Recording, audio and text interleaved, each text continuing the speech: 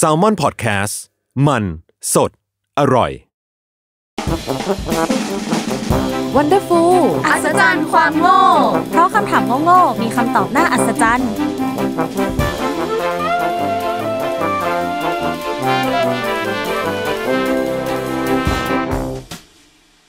สวัสดีค่ะยินดีต้อนรับเข้าสู่รายการ Wonderfool อัศจรรย์ความโง่ เพราะคำถามโง่ๆมีคำตอบน่าอัศจรรย์ค่ะ วันนี้อยู่กับสแตมป์ค่ะ พลอยค่ะวอวอค่ะเฮ้ยเขามาเป็นชื่อย่ออีกแล้วว่ะเออเอาใหม่เอาใหม่สอตอค่ะ พอค่ะทำไมของกูดูไม่ค่อยดีเลยอะพอเฉยพอเถอะอย่างๆเงี้ยเอเหรออพอพอเดี๋ยวพออะอันนี้ก็เป็น EP ที่ 18.2 นะคะ แน่นอนว่าเราก็ยังอยู่ในหมวดกีฬากันเหมือนเดิม EP ที่แล้วพลอยก็พูดถึง แบดมินตันใช่ไหมเอออันนี้ก็เป็นกีฬายอดฮิตเหมือนกัน เพราะว่าถ้าพูดถึงวงการกีฬาแล้วเนี่ย เราว่าฟุตบอลเป็นกีฬาที่ได้รับความนิยมเป็นอันดับต้นๆของโลกเลย เชื่อว่าต่อให้เป็นคนที่ไม่ได้ติดตามฟุตบอล ก็น่าจะเคยได้ยินเรื่องของการแข่งขัน ชื่อทีมฟุตบอล หรือแม้แต่ชื่อนักเตะผ่านหูผ่านตากันมาบ้าง และฟุตบอลก็เป็นกีฬาหนึ่งเลยที่มีศัพท์เฉพาะเยอะมากเป็นกัน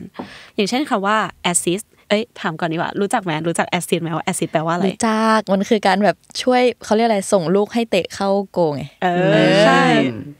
นี่สื่อภาษาปะเนี่ยเอ้ยผม FC บูล็อกครับเอออ่าโอเคอ่าคำว่า assist เนี่ยมันก็หมายถึงการส่งลูกบอลให้นักเตะอีกคนยิงประตูได้ สมมติว่าเราเป็นคนส่งลูกให้พลอยแล้วพลอยยิงเข้า เราก็จะเป็นคนที่ได้ assist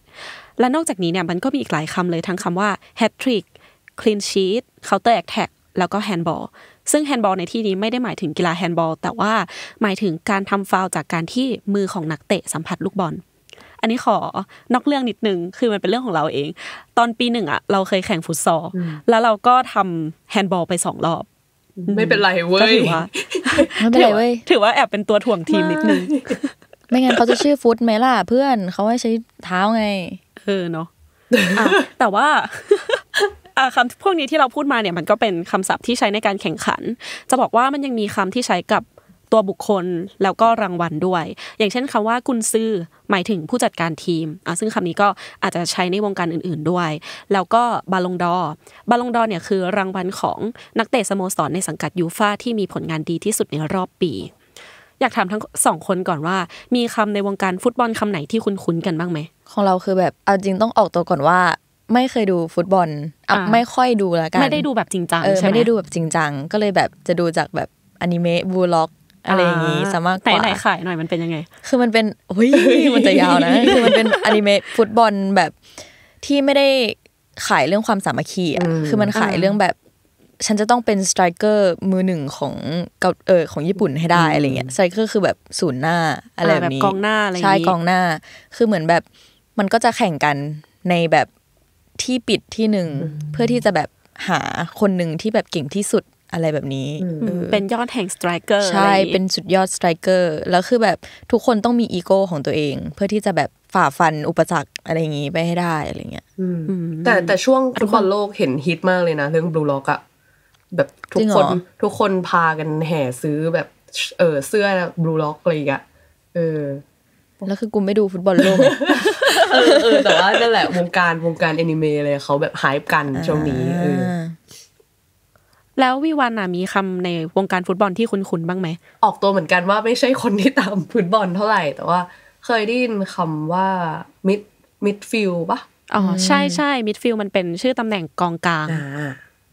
เออ อะก็อย่างที่เราเกรินไปตอนต้นเนาะว่าต่อให้คนที่ไม่ได้ติดตามวงการฟุตบอลเนี่ยก็น่าจะเออเคยคุ้นๆหรือว่าเคยได้ยินผ่านหูผ่านตากันมาบ้าง ทีนี้เนี่ยมันมีอีกคำหนึ่งที่เรารู้สึกว่ามันน่าสนใจ แล้วมันก็เป็นคำถามในวันนี้นะคะ นั่นก็คือคำว่าดาวซันโว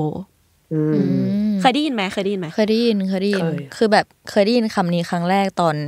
ปีหนึ่งคืออมต้องบอกก่อนว่าเรียนหญิงหญิงล้วนมาตลอด ก็เลยจะไม่ค่อยมีการแข่งฟุตบอลอะไรอย่างเงี้ย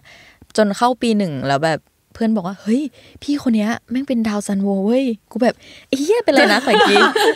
คือเหมือนเป็นแบบเป็นชื่ออะไรสักอย่างหนึ่งเครื่องปรุงหรืออะไรไม่รู้อะ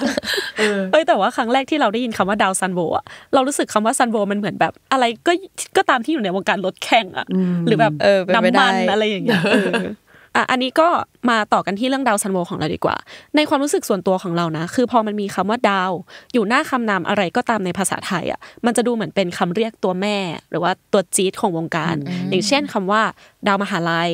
ดาวตลก หรือว่าดาว TikTok เอออย่างคุณพลอยเขาก็กำลังแบบเดบิวเฮ้ยยังหรอยังโอ้โหตัวแม่ตัวมัมปะ เออ ทีนี้เราก็มาดูกันว่าดาวซัลโวเนี่ยมันหมายถึงอะไร เอาแค่คำว่าซัลโวก่อนละกัน เว็บคอนเขาบอกว่าซัลโวเป็นภาษาอังกฤษหมายถึง การยิงปืนครั้งเดียวหลายกระบอกพร้อมกัน หรือว่าการระดมยิง ซึ่งแน่นอนว่าการยิงในกีฬาฟุตบอลเนี่ยมันก็คือการทำประตู เหมือนกับภาษาไทยของเราเหมือนกัน ที่จะชอบใช้คำว่ายิงแทนการทำประตู เช่นคำว่ายิงเข้าไปแล้ว หรือว่าลูกนี้ซาก้ายิงโคตรสวยเลยว่ะอะไรอย่างงี้อันนี้ซาก้าคืออันนี้แอบ bias ทีมที่ตัวเองชอบนิดนึงค่ะเป็นโอเคอ่าเป็นนักเตะของทีมอาร์เซนอลเอออืมทีนี้คำว่าซัลโวเนี่ยมันก็เลยถูกเอามาเรียกแทนการทำประตู แต่ว่าจริง ๆ แล้วต่างประเทศเขาไม่ได้นิยมใช้คำนี้กัน เพราะว่ามันเหมือนเป็นแค่คำที่เอามาเปรียบเทียบเฉยๆ จะมีแค่บางโอกาสเท่านั้นเลยที่เขาจะใช้คำนี้ ต่อมาเรามาดูกันที่คำว่าดาวซัลโวดีกว่าเออที่เป็นคำถามของเราวันนี้เนาะในภาษาอังกฤษเนี่ยเขาไม่ได้ใช้คำว่า star กับคำว่าซัลโวแต่ที่คนไทยใช้คำว่าดาว เพราะว่าคำว่าดาวมันหมายถึงคนที่ outstanding อะ เออเหมือนที่เราบอกไปดาวมหาลัยดาว TikTokอย่างราชบัณฑิตยสถานเขาก็ได้ให้ความหมายของคำว่าดาวไว้ว่าคำเรียกบุคคลที่เด่นในด้านใดด้านหนึ่ง ดาวซัลโวมันก็เลยหมายถึงนักเตะที่ทำประตูสูงสุดในการแข่งขันฟุตบอลแต่ว่าในต่างประเทศเนี่ยเขาก็จะใช้คำว่า top goal scorer หรือ prolific goal scorer ในการเรียกตำแหน่งนี้กัน แบบสมมติเวลาที่มันออกมาว่าเอ้ยใครได้ดาวซัลโวอะไรเงี้ยเขาก็จะเขียนหัวข้อข้างบนไว้ว่า top goal scorer อะแล้วก็จะเป็นไล่อันดับลงมา มันก็คือตรงตัวเลยเนอะแบบเป็นผู้ทำคะแนนที่เยอะสูงที่สุดที่สุดเออที่เป็นย่างงี้ top อะไรแบบนี้เใช่ใช่อันนี้เขาก็จะใช้แบบตรงตัวไปเลย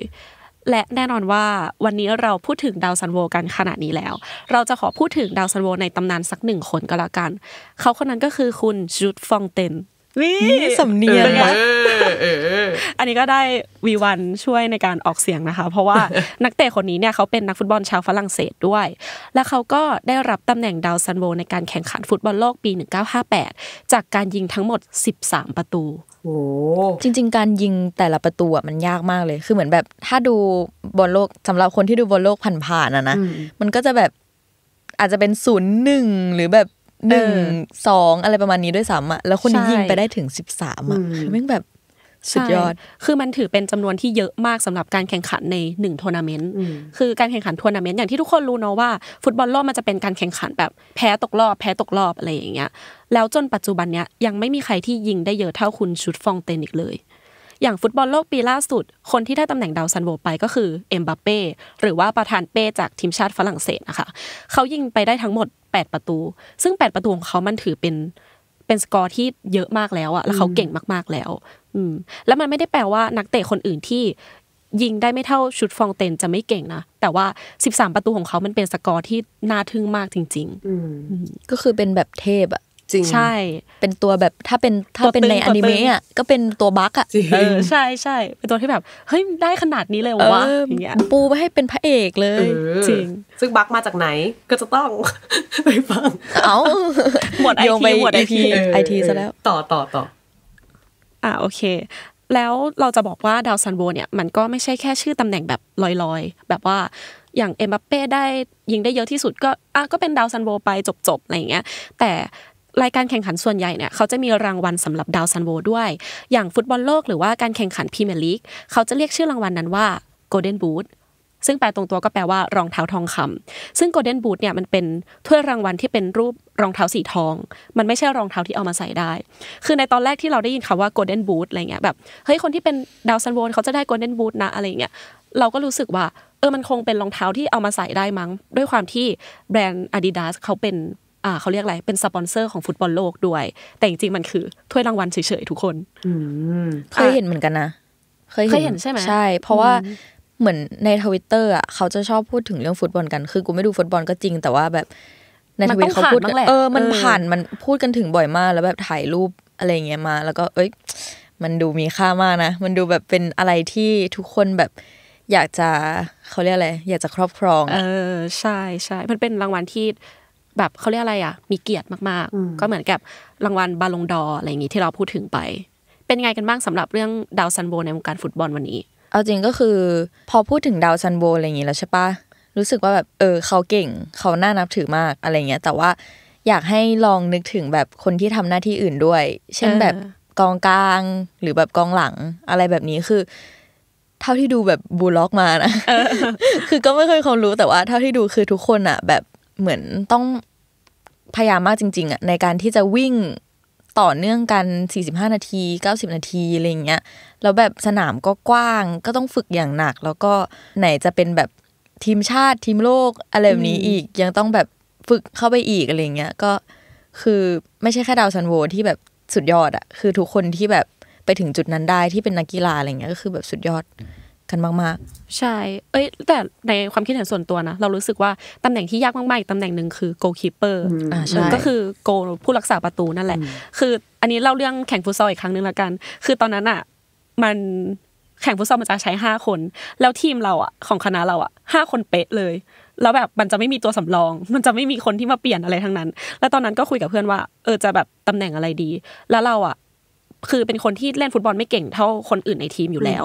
เราก็เลยแบบ เราก็เลยบอกเพื่อนว่าแบบ คือจำเป็นอะไรก็ได้นะ แต่ขอไม่เป็นโกล